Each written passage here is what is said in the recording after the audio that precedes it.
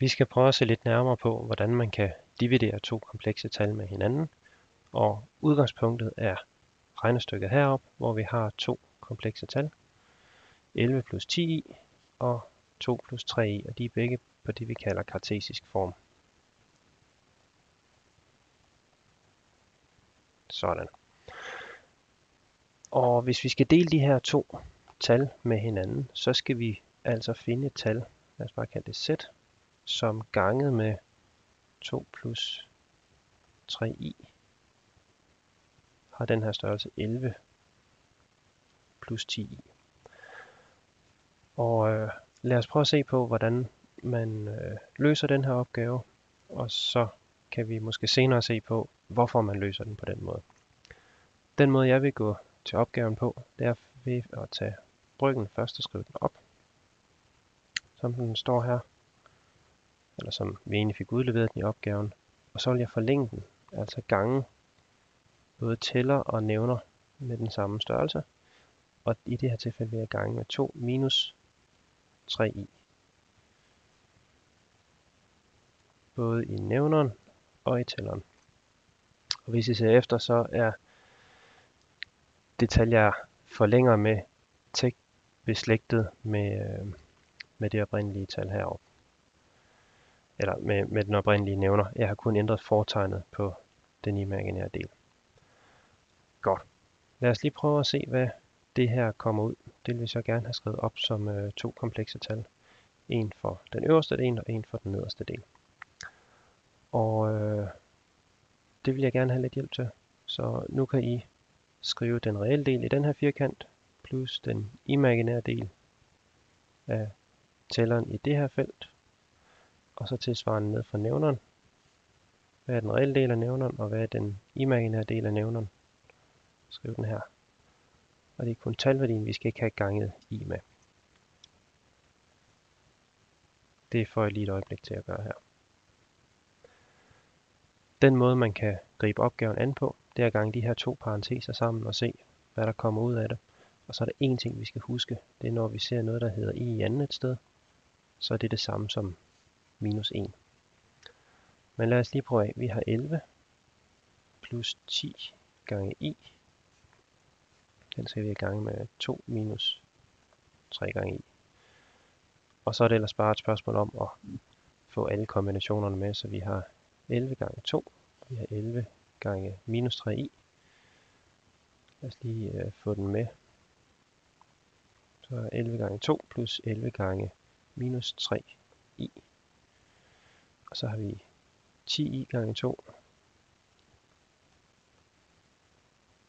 Plus, og så har vi stadigvæk 10i gange minus 3i. Det kunne vist lige være på skærmen.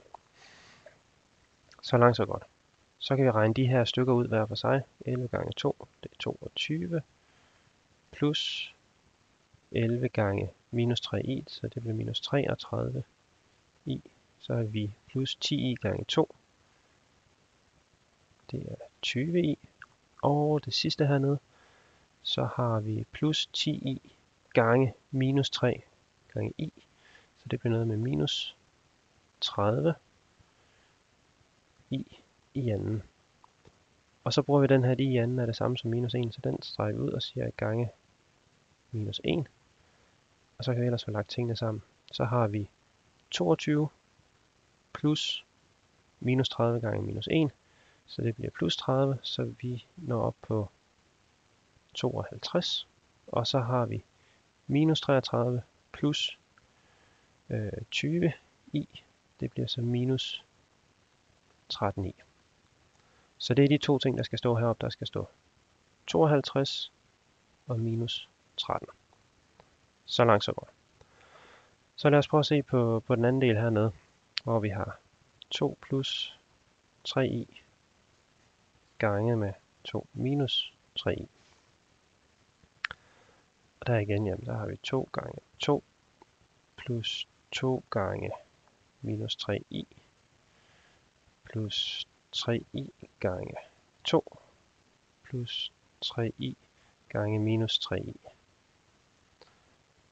Og så er det ellers bare for, for gang sammen. 2 gange 2 det er 4 plus 2 gange minus 3i, det bliver minus 6i.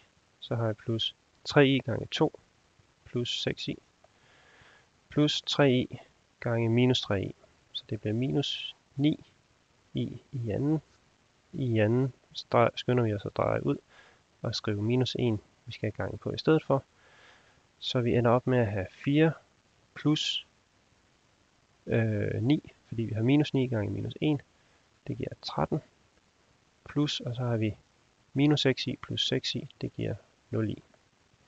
Så de sidste tal, vi har skrevet op heroppe, det er 13 plus 0.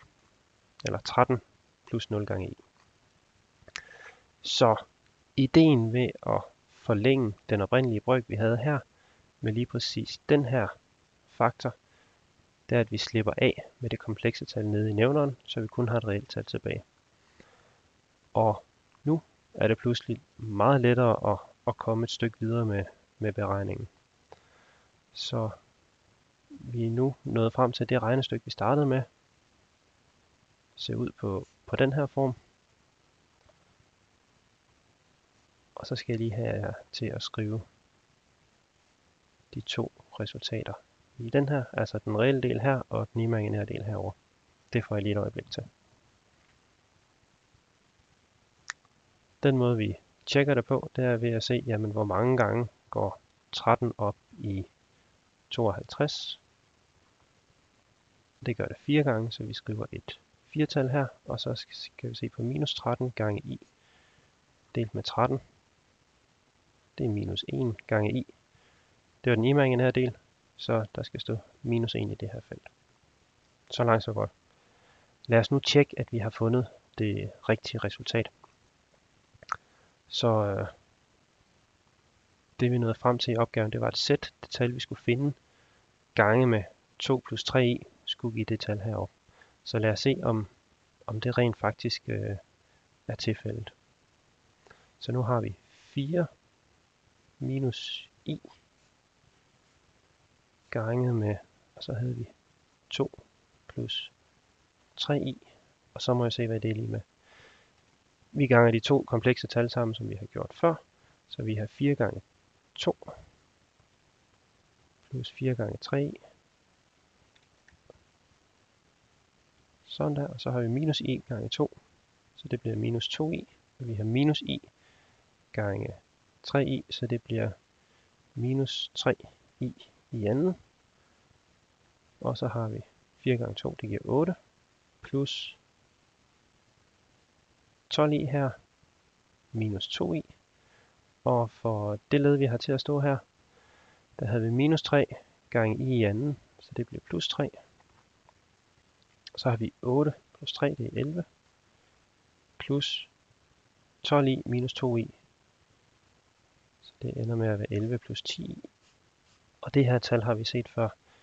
Det var det tal, vi startede med at have, så vi kan se, at, at det er det rigtige tal, vi har fundet, når vi skal dele øh, den her 11 plus 10 i med 2 plus 3 i.